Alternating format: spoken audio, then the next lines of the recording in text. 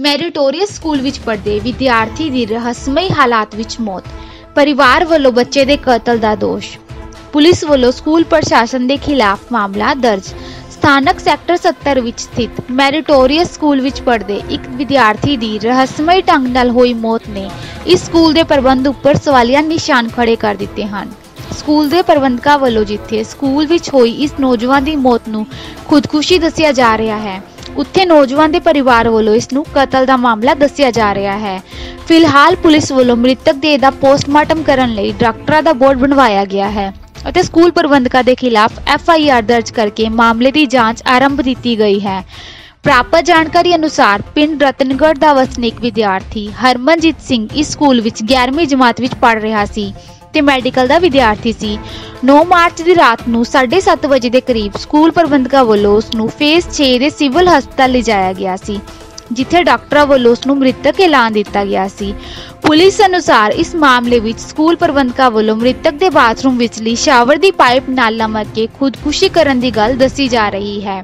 ਪਰੰਤੂ ਹਰਮਨਜੀਤ ਸਿੰਘ ਦੇ ਪਰਿਵਾਰ ਵੱਲੋਂ ਇਲਜ਼ਾਮ ਲਗਾਇਆ ਜਾ ਰਿਹਾ ਹੈ ਕਿ ਉਹਨਾਂ ਦਾ ਬੱਚਾ ਖੁਦਕੁਸ਼ੀ ਨਹੀਂ ਕਰ ਸਕਦਾ ਅਤੇ ਉਸ ਦਾ ਕਤਲ ਕੀਤਾ ਗਿਆ ਹੈ। ਇਸ ਮਾਮਲੇ ਵਿੱਚ ਪੁਲਿਸ ਵੱਲੋਂ ਸਕੂਲ ਦੇ ਪ੍ਰਬੰਧਕਾਂ ਦੇ ਖਿਲਾਫ ਮਾਮਲਾ ਦਰਜ ਕਰਕੇ ਜਾਂਚ ਆਰੰਭ ਦਿੱਤੀ ਗਈ ਹੈ। ਥਾਣਾ ਮਟੋਰ ਦੇ ਐਸਐਚਓ ਸ਼੍ਰੀ ਰਾਜੀਵ ਕੁਮਾਰ ਨੇ ਦੱਸਿਆ। ਬੱਚੇ ਨੇ ਕੱਲ 7 ਸਾਢੇ ਸ- ਆਪਣੇ ਉੱਥੇ ਪਹੁੰਚੇ ਜੀ, ਪੌਣੇ ਕੁ ਵਜੇ ਹਸਪੀਟਲ ਪਹੁੰਚੇ, ਉੱਥੇ ਬਰੋਡਡ ਪਾਇਆ ਗਿਆ। ਪਹਿਲਾਂ ਬੱਚੇ ਨੇ ਕਹਿੰਦੇ ਹੈਂਗਿੰਗ ਲਈ, ਜੋ ਬੱਚਿਆਂ ਨੇ ਅਸੀਂ ਰਾਤੀ ਇਨਵੈਸਟੀਗੇਸ਼ਨ ਐਸਪੀ ਸਾਹਿਬ ਨੇ ਤੇ ਡੀਐਸਪੀ ਸਾਹਿਬ ਵੀ ਮੈਂ ਵੀ ਮੌਕੇ ਤੇ ਸੀ ਹੋਰ ਸਾਡੇ ਮੁਲਾਜ਼ਮ ਮੌਕੇ ਤੇ ਸੀ, ਜੋ ਇਨਵੈਸਟੀਗੇਸ਼ਨ ਕੀਤੀ ਹੈ। ਉਹਨਾਂ ਬਾਅਦ ਹੁਣ ਘਰਦਿਆਂ ਨੇ ਇਲਜ਼ਾਮ ਇਹ ਲਾਇਆ ਕਿ ਸਾਡੇ ਬੱਚੇ ਦੀ ਇਹਨਾਂ ਨੇ ਆਪਣੇ ਮਾਰਿਆ ਹੈ। ਤੇ ਪਰ ਅਸੀਂ ਇਨਵੈਸਟੀਗੇਸ਼ਨ ਕਰ ਰਹੇ ਹਾਂ, ਅਸੀਂ ਬੋਰਡ ਡਾਕਟਰਾਂ ਦਾ ਗਠਿਤ ਕਰ ਦਿੱਤਾ, ਤਿੰਨ ਮੈਂਬਰੀ ਕਮੇਟੀ ਦਾ। ਉਹਦੇ ਬਾਅਦ ਕਿੰਨੇ, ਜੋ ਰਿਪੋਰਟ ਆਉਂਗੀ ਉਹਦੇ ਮੁਤਾਬਕ ਅਸੀਂ ਕਾਰਵਾਈ, ਫਿਲਹਾਲ ਅਸੀਂ 304 ਏ ਦਾ ਐਡਮਿਨਿਸਟ੍ਰੇਸ਼ਨ ਦੇ ਵਿਰੋਧ ਐਫ ਆਈ ਆਰ ਦਰਜ ਕਰ ਦਿੱਤੀ। ਸਕੂਲ ਪ੍ਰਸ਼ਾਸਨ ਦਾ ਕੀ ਕਹਿਣਾ ਹੈ ਇਹਦੇ ਵਿੱਚ ਸਕੂਲ ਪ੍ਰਸ਼ਾਸਨ ਦਾ ਕਹਿਣਾ ਕਿ ਹਾਂ ਵੀ ਇੱਧਰ ਬੱਚਾ ਹੋਇਆ ਸੀ ਤੇ ਉਹਨਾਂ ਨੇ ਦੱਸਿਆ ਬੱਚਿਆਂ ਨੇ ਨਾਲ ਜਾ ਕੇ ਉਹਨਾਂ ਚੱਕ ਕੇ ਪਹਿਲਾਂ ਕਿਸੇ ਮੈਡੀਕਲ ਸਟੋਰ ਤੇ ਲੈ ਕੇ ਗਏ ਸਕੂਟਰ ਪਰ ਉਠਾ ਕੇ ਉਹਦੇ ਬਾਅਦ ਫਿਰ ਹਸਪੀਟਲ ਲੈ ਕੇ ਗਏ। ਕੀ ਨਾਂ ਸੀ ਬੱਚੇ ਦਾ? ਹਰਮਨਪ੍ਰੀਤ ਸਿੰਘ। ਇਹ ਮੋਹਾਲੀ ਦੇ ਸੀ? ਨੇ ਪਿੰਡ ਰਤਨਗੜ੍ਹ ਦਾ ਰਹਿਣ ਵਾਲਾ ਸੀ ਬੱਚਾ ਪਲੱਸ 1 ਦੀ ਕਲਾਸ ਵਿੱਚ ਸੀ ਮੈਡੀਕਲ ਦਾ ਸਟੂਡੈਂਟ ਸੀ। ਦੂਜੇ ਪਾਸੇ ਹਰਮਨਜੀਤ ਸਿੰਘ ਦੇ ਪਰਿਵਾਰ ਦਾ ਕਹਿਣਾ ਹੈ ਕਿ ਜਿਸ ਬਾਥਰੂਮ ਵਿੱਚ ਬੱਚੇ ਦੀ ਮੌਤ ਹੋਈ ਦੱਸੀ ਜਾ ਰਹੀ ਹੈ, ਉੱਥੇ ਦੀਵਾਰ ਤੇ ਖੂਨ ਦੇ ਦਾਗ ਲੱਗੇ ਹੋਏ ਸਨ ਅਤੇ ਮ੍ਰਿਤਕ ਦੇ ਕਮਰੇ ਵਿੱਚ ਵੀ ਦੀਵਾਰ ਤੇ ਖੂਨ ਦੇ ਨਿਸ਼ਾਨ ਹਨ। ਪਰਿਵਾਰ ਦੀ ਮੰਗ ਹੈ ਕਿ ਇਸ ਮਾਮਲੇ ਦੀ ਨਿਰਪੱਖ ਜਾਂਚ ਕਰਵਾ ਕੇ ਉਹਨਾਂ ਦੇ ਬੱਚੇ ਦੀ ਮੌਤ ਲਈ ਜ਼ਿੰਮੇਵਾਰ ਵਿਅਕਤੀਆਂ ਦੇ ਖਿਲਾਫ ਬਣਦੀ ਕਾਰਵਾਈ ਕੀਤੀ ਜਾਵੇ। ਮ੍ਰਿਤਕ ਦੇ ਚਾਚੇ ਸਤਗੁਰ ਸਿੰਘ ਨੇ ਕਿਹਾ ਮੇਰਾ ਨਾਮ ਸਤਗੁਰ ਸਿੰਘ ਹੈ। ਮੈਂ ਹਰਮਨਜੀਤ ਸਿੰਘ ਦਾ ਚਾਚਾ ਲੱਗਦਾ ਜਿਹੜਾ ਬੱਚਾ ਮ੍ਰਿਤਕ ਪਾਇਆ ਗਿਆ ਹੋਸਟਲ ਦੇ ਵਿੱਚ। ਕੀ ਸਾਰਾ ਮਾਮਲਾ ਸੀ ਉਹ ਤੁਹਾਨੂੰ ਕੀ ਲੱਗਦਾ ਹੈ ਇਹਦੇ ਵਿੱਚ? ਸਰ ਇਹ ਸਾਰਾ ਮਾਮਲਾ ਕਤਲ ਕੇਸ ਦਾ ਹੈ ਕਿਉਂਕਿ ਜਦੋਂ ਅਸੀਂ ਪਹਿਲਾਂ ਸਕੂਲ ਵਾਲੇ ਕਹਿੰਦੇ ਸੀ ਇਹ ਸਿਰਫ ਸੁਸਾਈਡ ਕੇਸ ਹੈ। ਪਰ ਜਦੋਂ ਅਸੀਂ ਜਾ ਕੇ ਦੇਖਿਆ ਤਾਂ ਉਹਦੇ ਬਾਥਰੂਮ 'ਚ ਵੀ ਉਹਦੇ ਖੂਨ ਦੇ ਨਿਸ਼ਾਨ ਸੀ। ਪਰ ਜਦੋਂ ਸਾਡੇ ਹੋਰ ਨਾਲ ਦੇ ਭਰਾਵਾਂ ਨੇ ਜਾ ਕੇ ਦੇਖਿਆ ਤਾਂ ਉਹਦੇ ਕਮਰੇ 'ਚ ਵੀ ਉਹਦੇ ਖੂਨ ਦੇ ਨਿਸ਼ਾਨ ਪਾਏ ਗਏ ਹੈ। ਜੀ ਬੈੱਡ ਦੇ ਥੱਲੇ ਉਹਦੇ ਮੇਜ਼ ਕੋਲ ਜੀ ਤੋਂ ਇਹ ਸਾਬਤ ਹੁੰਦਾ ਵੀ ਪਹਿਲਾਂ ਉਹਦੇ ਨਾਲ ਕੁੱਟਮਾਰ ਉਹਦੇ ਕਮਰੇ 'ਚ ਕੀਤੀ ਕਿ ਬਾਅਦ 'ਚੋਂ ਉਹਨੂੰ ਬਾਥਰੂਮ 'ਚ ਲੈ ਕੇ ਜਾ ਕੇ ਮਾਰ ਕੇ ਉਹਦਾ ਇਹ ਉਹ ਦੱਸਿਆ ਗਿਆ ਵੀ ਇਹਨੇ ਸਿਰਫ ਸੁਸਾਈਡ ਕੀਤਾ। ਹੈ ਤਾਂ ਉਹਦੀ ਡੈੱਡ ਬੋਡੀ ਬਾਥਰੂਮ 'ਚ ਰੱਖਦੀ ਤੇ ਉਹਦਾ ਵੀ ਡੈੱਡ ਬੋਡੀ ਵੀ ਉਹਦੀ ਮੌਤ ਜਿਹੜੀ ਦਿਨ 'ਚ ਹੋ ਕੇ ਸਾਨੂੰ ਦੱਸਿਆ ਸ਼ਾਮ ਨੂੰ ਗਿਆ। ਜਦੋਂ ਕਿ ਪੂਰੀ ਕਾਰਵਾਈ ਉਹਨੇ ਕਰ ਲਈ ਵੀ ਕਿਆ ਚੀਜ਼ ਕਰਨੀ ਅਸੀਂ ਕਿਵੇਂ ਬਣਵਾਉਣੀ ਆ ਕਿਆ ਇਹਦਾ ਉਹ ਕਰਨਾ ਸੀ ਤੁਹਾਨੂੰ ਇਹਦੀ ਸੂਚਨਾ ਸਕੂਲ ਵੱਲੋਂ ਮਿਲੀ ਸੀ? ਹਾਂਜੀ ਸਰ ਸਾਨੂੰ ਇਹਦੀ ਸੂਚਨਾ ਸਕੂਲ ਵੱਲੋਂ ਸ਼ਾਮ ਨੂੰ ਦਿੱਤੀ ਗਈ। ਕਿੰਨੇ ਵਜੇ? ਸਵਾ ਸੱਤ ਵਜੇ ਦੇ ਗੇਟ 'ਚ ਦਿੱਤੀ ਗਈ। ਵੀ ਤੁਹਾਡੇ ਬੱਚੇ ਬੇਹੋਸ਼ ਹੋ ਕੇ ਹੌਸ ਉਹ 'ਚ ਬਾਥਰੂਮ 'ਚ ਗਿਰ ਗਿਆ ਅਸੀਂ ਉਹਨੂੰ 6 ਫੇਸ ਹਸਪੀਟਲ 'ਚ ਲੈ ਕੇ ਚੱਲੇ ਤੁਸੀਂ ਉੱਥੇ ਆ ਜਾਓ। ਤੁਸੀਂ ਇੱਥੇ ਆਏ ਤੇ ਇਹਨਾਂ ਨੇ ਅਸੀਂ ਇੱਥੇ ਆਏ ਤੇ ਜਦੋਂ ਸਰ ਅਸੀਂ ਦੇਖਿਆ ਪਹਿਲਾਂ ਸਾਨੂੰ ਇਹਨੇ ਕੁਝ ਇਹ ਡਾਕਟਰ ਨੇ ਸਾਨੂੰ ਇਹਨਾਂ ਦੱਸਿਆ ਵੀ ਤੁਹਾਡਾ ਬੱਚਾ ਨਹੀਂ ਹੋਇਆ ਤੇ ਸਾਡਾ ਬੱਚਾ ਸਾਨੂੰ ਇਹਨਾਂ ਬਿਨਾਂ ਦੱਸੇ ਮੋਰਚਰੀ 'ਚ ਰੱਖਤਾ ਫਰਿੱਜ 'ਚ। ਸਾਡਾ ਉਹ ਇੰਨਾ ਵੀ ਹੱਕ ਨਹੀਂ ਤਾਂ ਵੀ ਸਾਨੂੰ ਬਿਨਾਂ ਦੱਸੇ ਤੇ ਇਹਨੇ ਕਿਵੇਂ ਰੱਖ ਦਿੱਤਾ ਉਹ ਮੋਰਚਰੀ 'ਚ ਨਹੀਂ ਹੁਣ ਪੋਸਟਮਾਰਟਮ ਹੋ ਗਿਆ ਕਿ ਹੁਣ ਹਲੇ ਸਰ ਪੋਸਟਮਾਰਟਮ ਨਹੀਂ ਹੋਇਆ। ਪੋਸਟਮਾਰਟਮ ਤੋਂ ਬਾਅਦ ਹੀ ਸਹੀ ਪਤਾ ਚੱਲ ਪੋ- ਪਾਏਗਾ ਹਲੇ ਸਰ ਐਫ ਆਈ ਆਰ ਦਰਜ ਹੋਈ ਆ ਤੇ ਉਸ ਤੋਂ ਬਾਅਦ ਹੀ ਅੱਗੇ ਦੱਸਿਆ ਜਾ ਸਕਦਾ ਵੀ ਕਿਆ ਹੋਇਆ ਕਿਵੇਂ ਕਿੰਨੀ ਹੋਇਆ। ਕਲਾਸ ਦਾ ਬੱਚਾ ਸੀ? ਸਰ, ਕਿੰਨੀ ਗਿਆ- ਉਮਰ ਸੀ ਇਹਦੀ? 11ਵੀਂ ਕ- ਕਲਾਸ ਦਾ ਬੱਚਾ ਸੀ ਮੈਡੀਕਲ ਦਾ ਬੱਚਾ ਸੀ ਇਹ। ਕਦੋਂ ਪਹਿਲ- ਤੁਸੀਂ ਇੱਥੇ hostel- ਸਰ? ਇਹ ਪਿਛਲੇ 6 ਮਹੀਨੇ ਤੋਂ ਸੀ ਇੱਥੇ। ਇਹ ਪਹਿਲਾਂ 10th ਕਲਾਸ ਆਪਣੀ ਸਾਡੇ ਪਿੰਡ ਸੀਨੀਅਰ ਸੈਕੰਡਰੀ ਸਕੂਲ 'ਚ 92% ਕਰਕੇ ਆਇਆ।